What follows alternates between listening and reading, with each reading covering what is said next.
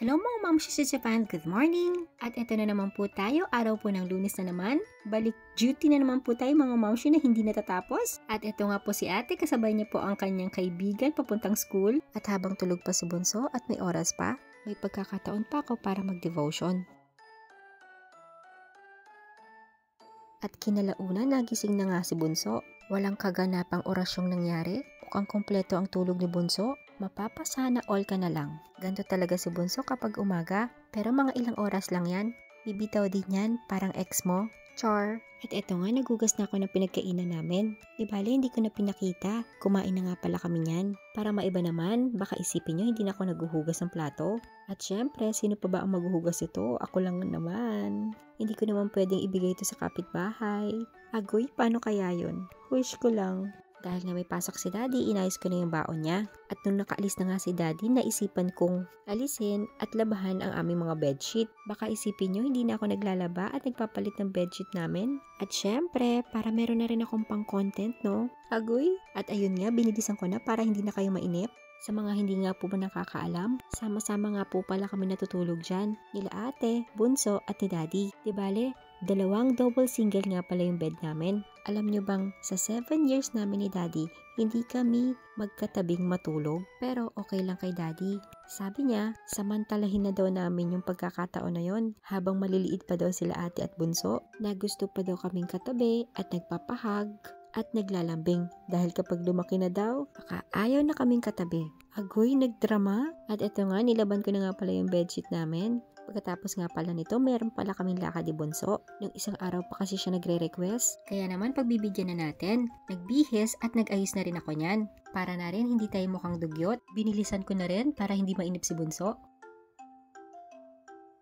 At yun nga nung nakaayos na ako, siya naman yung binihisan ko. Medyo nagmamadali na nga kami niyan para madali din kami makauwi. At inayos ko na rin yung mga gamit namin, lalo na yung kay Bunso, tubig at konting pagkain. At syempre, dapat hindi natin makalimutan patayin yung mga electronic bago tayo umalis. At oo nga pala, yung mga panahon na niyan, medyo lumalamig-lamig na nga pala dahil mag-autumn na. Kaya medyo masarap na rin gumala. Kaso, mahirap nga lang kasi uso yung sakit, lalo na't nagpapalit yung klima ngayon. Kaya po ingat po sa lahat. Actually, ito talaga yung favorite na weather ko ngayon yung medyo malamig-lamig na mainit na tama lang naman. Kaya kung magbabala kayo magbakasyon, mga gantong panahon ang maganda. O kaya naman, mga panahon na spring, yan, mas maganda pumunta dito sa Japan.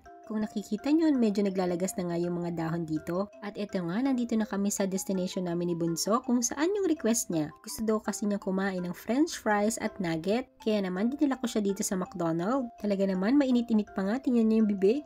Sabi ko nga sa kanya, hipan muna niya kasi mainit nga naman. Ganyan lang yan si Bunso, akala niya tahimik lang pero napakadaldal niyan. Mahilig kasi siya sa mga nature distraction kaya naman yun ang ikinikwento niya. Nagre-request pa nga siya na gumawa kami ng volcano at mag-experiment nga daw kami. Sabi ko nga, sa susunod na lang dahil aalamin ko pa kung ano yung mga kailangan, agoy. At ayun nga, pagkatapos namin kumain, dinala ko naman siya dito sa Daiso dahil nga meron nga akong titingnan. Dahil nga gusto kong gawin at itry gawin yung Brazil candy. At pagkatapos namin sa Daiso, dumiretso naman si Bunso dito sa game center. Tuwang-tuwa dahil wala siyang kahate. Nasa school kasi si ate niyan.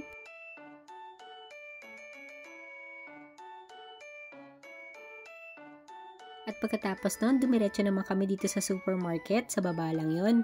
Medyo nagmamadali na nga ako niyan kasi yung oras at itong kasama ko, medyo natutulula na kasi. Ayan na nga, oh, tingnan niyo si Bunso. Agoy, pati camera hindi ko na naayos sa kakamadali ko. At nung natapos na nga kami, umuwi na agad kami. Naku, buti na nga lang hindi siya nakatulog sa bike. Buhay pa rin yung diwa niya, agoy. Kung hindi, struggle is here. At ayun nga, Naranasan nyo na rin bang mabuli or may magsabi sa inyo sa likod nyo na hindi maganda? Huwag kayong maniwala doon. Bibigyan ko kayo ng dalawang tips kung bakit. Una, mas kilala mo ang sarili mo kung sino ka talaga. Pangalawa, ang Bible. Kung ang iba sinasabihan kang pangit ka, hindi totoo yun. Dahil sabi ng Bible, maganda ka sa paningin ng Lord. Kung sabi nila, bobo ka, nagkakamali sila.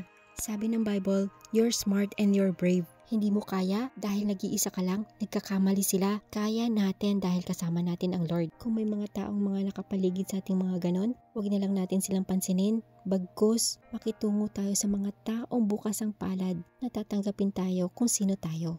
At higit sa lahat, no matter what who you are, mahal na mahal ka ng Lord. Lagi lang siyang naandyan para sa'yo.